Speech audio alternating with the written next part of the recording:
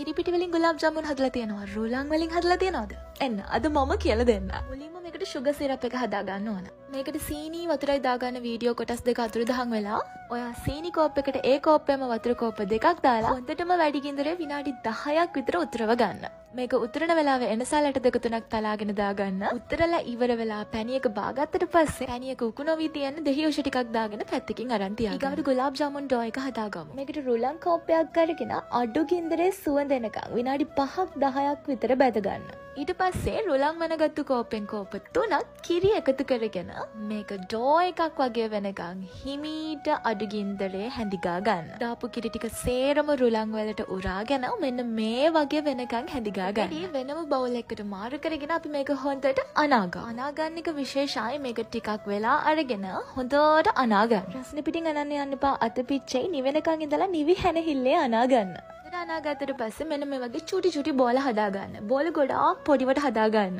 නැත්තම් මේක බදිනකොට පුපුරන්න පුළුවන්. මේ පේනවට තොට පොඩියට හදාගන්න මගේව පුපුරපු නිසා මම එක දෙකට කඩලා ආයි චුටියට හදාගන්න ඊට පස්සේ ගැඹුරු තෙලේ බැදගන්නයි තියන්නේ. බැදගන්නකොට ගින්දර හොඳට මඩුවෙන් තියල තමයි බැදගන්න ඕන. ට දානකට පෙනවත් එන්න නැති තරමට ගින්දර අඩුවෙන් තමයි තියන්න ඕන. පස්ස තමයි පෙන ඇවිල්ල හිමීට බැදන්න පටන් ගන්න. බැදිල මේ වගේ රතු පාටක් යනකොට ඔගලන්ට තෙලෙක් බාගන්න පුළුව ඉට පස්ස අපි හදාගත ශුග සිරප් එක ටිකක් රත් කරලා ගුලාබ් ජමුන් ටික එකට දාගන්න. මේක රස හරියටම දැනෙන නම් රෑක්කොත් මේක පැනිවල පෙන්ගන්න දෙන්න. පේනවානේද රෑක් පෙඟුණු අපේ ගුලාබ් ජමුන් ටික ජූසියට තියෙන හැටි. සිපියක බැලුවනම් ලයි එකක් දාලා මව ෆලෝ කරගෙන ගැන කමෙන්ට් එකක් දාගෙන යන්න අමතක් කරන්න අතට ගිහිගෙන්න්න අයි පාලඟට යනකක් ස්ටේ සුප පාසටබ් ළමයි සතුටින් පරිස්සමින් ඉන්න ඕනා.